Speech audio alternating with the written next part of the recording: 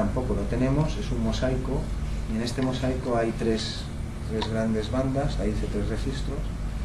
En la superior se representa un cuarteto donde hay órgano, guitarra, que es una lira compleja, ¿eh? no, es, no es un cuerno de animal con cuatro cuerdas atadas, sino que es una caja trabajada por un luthier. Hoy no, este curso no vamos a ver esas cosas, pero si se molestan en buscar, hay, hay de todo. En tiempos de Grecia y Roma hay liras que se hacen con caparazones de tortuga y con cuerdas y tiras de cuero y cosas así, y hay instrumentos como podría ser una guitarra actual, es decir, una caja que cualquiera de ustedes o yo mismo en aquellos tiempos no la talla, o sea, aquello no suena porque se descuajeringa y se rompe. Un instrumento muy elaborado.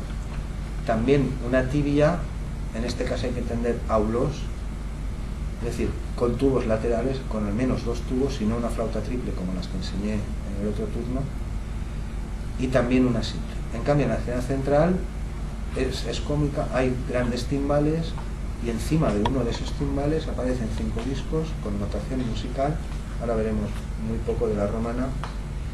En cambio, en el inferior lo que hay es un coro trágico, cuando se dice coro trágico es que está especializado en cantar coros de tragedias, de tragedias griegas, también romanas que las hubo, ya lo veremos.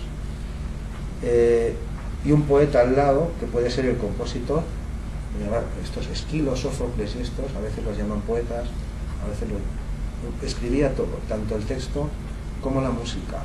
Y eso es lo que iba a concurso. Estoy hablando de Sófocles, de Esquilo, de Eurípides y de muchísimos más, cientos